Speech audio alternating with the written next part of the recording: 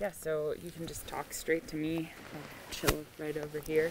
Hi, Beth. Hi, How are you? I am well, and yourself? Yeah, really good.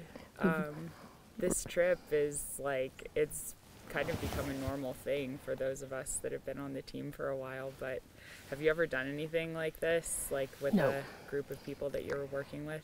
Well, I shouldn't say that. Not for as long. Um, we've had with the Dakine, we did shorter, like two or three day trips where we'd go skiing or we'd go mountain biking, but nothing where we were gone for this period of time or that required, I guess, being as prepared. Yeah, totally.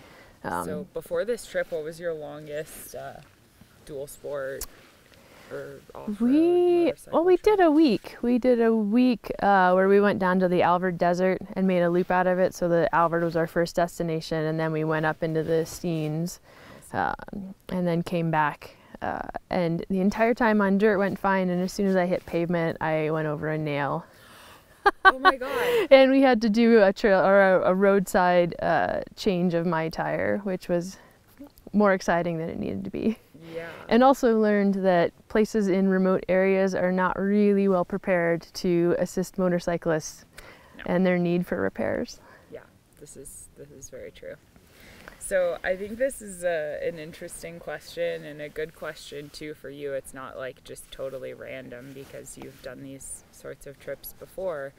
Um, and I'm asking everyone the same question. Just I thought it would like tap into the very human element of like why as individuals we decide to do this strange thing of unsupported multi-day trips where you're coming out into the heat of the desert and you know sort of begging for a bit of misery. So why do you do this? I I like to control things and I like to make sure that everything ha- that it goes in a certain way and on most occasions it fits into that pattern and the only reason it would deviate from that pattern is because I make the conscious choice to have something go a different way. Mm. And being in this type of environment or being out on this kind of trip you have to let go of some of that because you can't control what nature is going to throw at you. I, I can't control the weather, unfortunately. So I can't make it cooler or warmer or sunnier or wetter. Like that's all out of my control. And things happen. I planned ahead on this trip and I had so much water. And the first thing I did was crash and scuff up my large water bladder so that it leaks. And then all of a sudden, that piece of that control piece was out of my hands because I didn't have that anymore. And you have to be able to adapt. And I think that's a great way for myself to have some growth and maybe that I can take that like look you could handle when things throw you off your game and so maybe when something happens in my day-to-day life then I can reflect back a little bit and be like see you didn't lose your shit. Like you can make it through this adapt and it's good and it's okay. Yeah. Yeah i love that. Uh, so you've had quite an interesting trip you know? Like, let's just address that right up front you know? I um I, I love that we got that initial question, the same question I asked everybody uh, out of the way. But but now, man, let's dig in a little bit on like this has been particularly interesting for you because it definitely wasn't as planned. Like none of us knew how this trip would go. We've never done a trip like this with as many people yeah as we had. Um, and you've sort of been off on your own journey a little bit on the trip and um, with with a total stranger, somebody Yes. that you haven't ever even worked with. JC, um, you know, is our road boss, but doesn't work in the office with us, and you're relatively new to the company anyway. So this whole thing was just total wild card. Um, you've handled it very well, so I see. But tell us a little bit about that. uh, a lot of discomfort just being put into situations where I don't like to be. And I mean, even going on the trip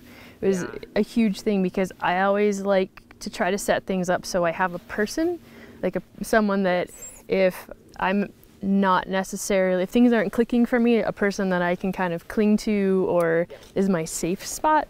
And so going in knowing I didn't have any safety net uh, was very scary.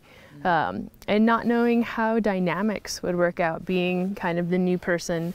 Um, and not ever having known anyone. I mean, even Jack being a little bit newer, at least had known Paulina before and had these interactions where like I'm really the one person that is the wild free card, you know, and what does that do to all the dynamics and how do you fit into things and am I going to get abandoned somewhere in the desert because oh, I think we lost someone but I don't know who that was.